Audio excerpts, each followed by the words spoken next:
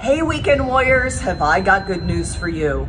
I know you're chained to your desk all week and cannot exercise every day, but a study out in JAMA in 2023 shows that you can get more than 50% of your 150 minutes of brisk exercise on the weekend and still get the cardiovascular and long-term health benefits that you would get if you spread it out during the week.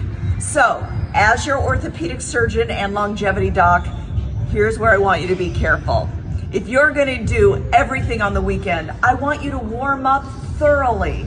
Every joint you need to warm up, which means getting to your court, your golf course, your game, your run on the road a little bit early.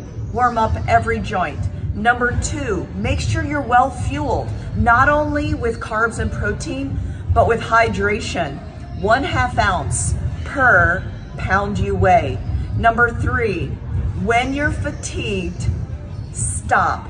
Most injuries happen when you push past fatigue and finally take time to recover. I hope that helps. I hope it keeps you in the backyard, on the battlefield, on the road, and out of my Monday morning Weekend Warrior Clinic. Have a great day.